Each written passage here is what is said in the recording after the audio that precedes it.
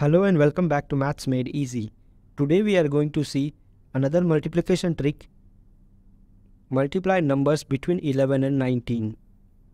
Let's get started. Step 1. Add the larger number to the rightmost digit of the another number. Put 0 at the end of the result 1. Multiply the rightmost digit of both the original numbers and add the result from 2 and 3. Let's see.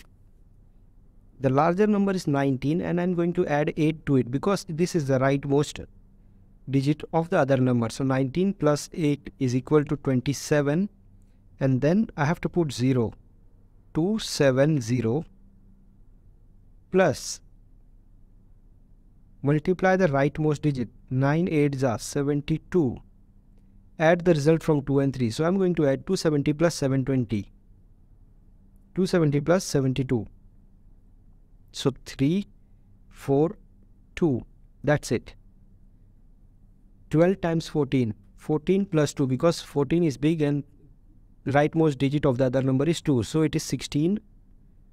0 at the end plus 4 2s are 8. So the result is 168. 17 times 15 17 plus 50 5 is 17 plus 5 is?